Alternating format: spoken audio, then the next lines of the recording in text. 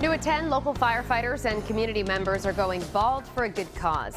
The Providence Firefighter Hall hosted a head shaving event to raise money and awareness for childhood cancer research. Their goal is to raise $3,000.